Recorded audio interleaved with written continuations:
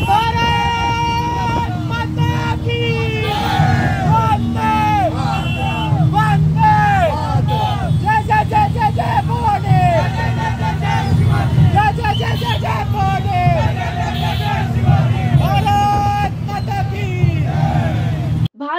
स्वतंत्रता के पचहत्तरवा साल आज़ादी का अमृत महोत्सव मना रहा है। आज़ादी के इस जश्न को जोश और उत्साह के साथ मनाने के लिए भारतीय जनता युवा मोर्चा मुंबई द्वारा भव्य तिरंगा बाइक रैली का आयोजन किया गया। मुंबई के एनसीपी नरीमन पॉइंट से लेकर ऐतिहासिक अगस्त क्रांति मैदान तक यात्रा का शुभारंभ महाराष्ट्र के विधानसभा अध्यक्ष राहुल नार्वेकर, राज्य के पूर्व गृह राज्य मंत्री श्री कृपा शंकर सिंह, राज्य के भाजपा सचिव एंड अखिलेश चौबे की उपस्थिति में हुआ। यात्रा में जोश और उत्साह से भरे भारत माता की जय जयकार के नारे लगे और सैकड़ों युवाओं ने अपनी मोटरसाइकिल पर तिरंगा फहराते हुए अगस्त क्रांति मैदान की तरफ़ प्रस्थान किया। युवाओं का साथ देने भारतीय जनता युवा मोर्चा के राष्ट्र सचिव एवं प्रदेश प्रभारी श्री गौरव गौतम जी भी जुड़े। यात्रा का समापन मुंबई के ऐतिहासिक अगस्त क्रांति मैदान पर विशाल जनसभा में हुआ।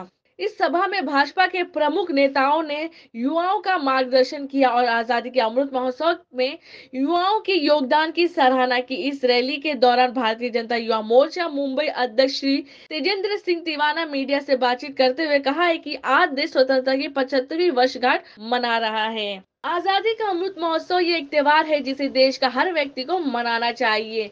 माननीय प्रधानमंत्री श्री नरेंद्र मोदी जी के नेतृत्व में राष्ट्र और हमारे प्रिय नेता देवेंद्र फडणवीस जी के मार्गदर्शन में महाराष्ट्र का नव निर्माण हो रहा है। उन्होंने अपने युवा साथियों के साथ ये शपथ ली है कि राष्ट्र और महाराष्ट्र निर्माण तन, मन, धन से समर्पित रहेंगे और इंडिया ऑफ़ ड्रीम्स एवं मॉडर्न एवं मैग्नेटिक महाराष्ट्र बनाने का संकल्प लिया।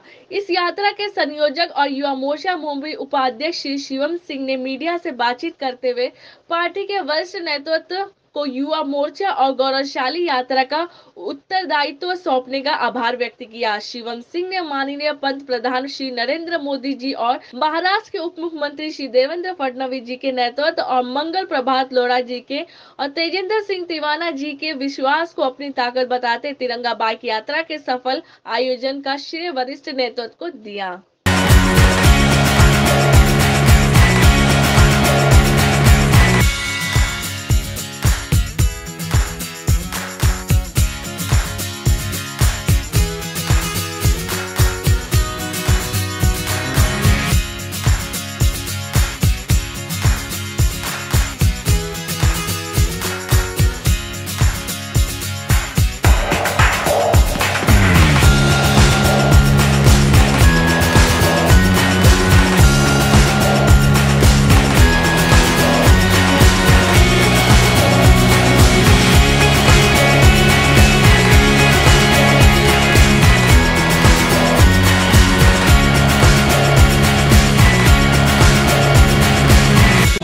आयोजित इस बाइक रैली के समय उपस्थित रहना ये सौभाग्य की बात है।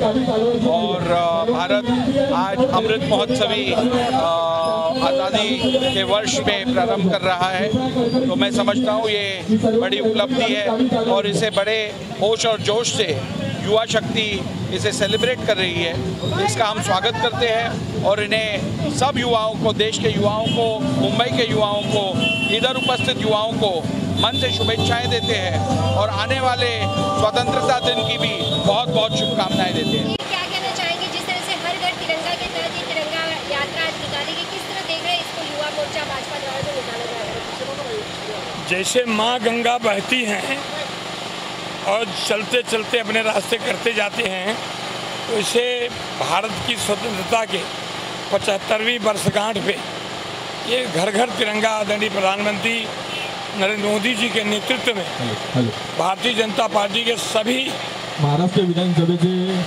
नवनिर्वाचित सारे लोगों ने तय किया है आज हमारा भारतीय जनता पार्टी का युवा मोर्चा राहुल नार्वेकर जी आ गए हैं। अभी मुझे लगता है कि अपने कार्यक्रम आगे बढ़ाना है। इसलिए ये हर घर में आपके घर में हमारे घर में कोई घर नहीं बनना चाहिए जहाँ ये तिरंगा फहराया जाना चाहिए। इससे हमको हमारे देश की हमारी राष्ट्रीयता हमारी एकता का एक परिचय मिलता है। स्वतंत्रता दिवस को मना रहे किस तरह से आप घर घर तक तिरंगा पहुँचाने का आप कार्य करेंगे देखिए जो देश के पचहत्तरवा स्वतंत्रता दिवस दिवस है ये पूरे देश में एक त्योहार से भी बढ़कर इस तरीके से मनाया जा रहा है। और आज आप देख सकते हैं सैकड़ों युवक आज हमारे पंतप्रधान नरेंद्र मोदी जी के आह्वान पर मुंबई में इतनी बड़ी संख्या में सभी युवक तिरंगा यात्रा में शामिल होने के लिए आपके सामने मुंबई में हाजिर है। और हर घर तिरंगा का संकल्प सौ टका मुंबई करों ने लिया है और आपको आने वाले तेरह तारीख से पंद्रह अगस्त तक सभी घरों में मुंबई के तिरंगा लहराते हुए दिखाई देगा। तो आज की आज ये रैली कहाँ तक आपकी जाएगी और इस रैली के माध्यम से मुंबई मुंबईकरों को क्या कुछ मैसेज देंगे आप?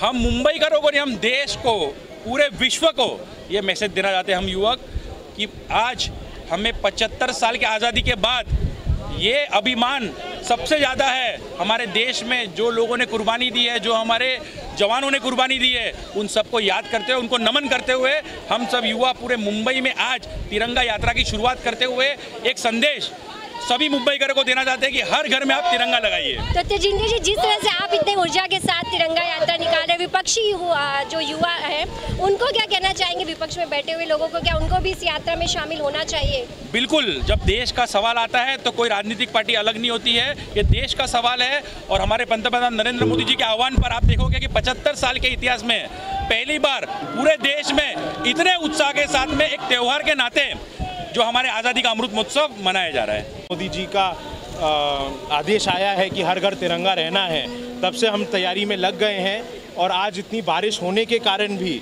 जितने युवा आए हैं, उनमें कहीं ना कहीं एक जोश है जो पचहत्तर साल पहले जो जिन लोगों ने देश के लिए, आज़ादी के लिए लड़ा था, उनमें जो जोश है, आज वही जोश हमारे युवा साथी यहाँ लेके आए हैं।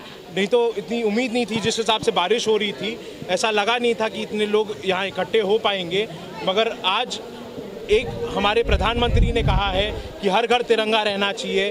तो उस हिसाब से हमारे युवा आज सब आगे बढ़ के आए हैं और हमारे अध्यक्ष श्री तेजेंद्र तिवाना जी ने ये संकल्प लिया था कि हम जो रैली निकालेंगे वो सबसे अच्छी होगी और एक अच्छा अ, संदेश देंगे हम देश के युवाओं को।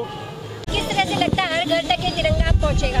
अवश्य पहुंचेगा। सम्माननीय देश के पंतप्रधान नरेंद्र मोदी जी के आह्वान पे पूरे देश भर में आने वाले आज़ादी का अमृत महोत्सव जो हम मना रहे हैं, जो 13 से 15 तारीख तक घर घर तिरंगा, जो आह्वान हम लोगों को कर रहे हैं इस बाइक रैली के माध्यम से, पूरे मुंबई नहीं, पूरे महाराष्ट्र नहीं, पूरे देश भर में युवा मोर्चा बाइक रैली और विभिन्न एरियाओं में जाके इसका प्रचार करके हर एक नागरिक को आश्वस्त करेगा कि वो अपने घर में तिरंगा ले रहा है और आने वाले तेरह तारीख से पंद्रह तारीख के बीच में पूरा हिंदुस्तान तिरंगामय होगा।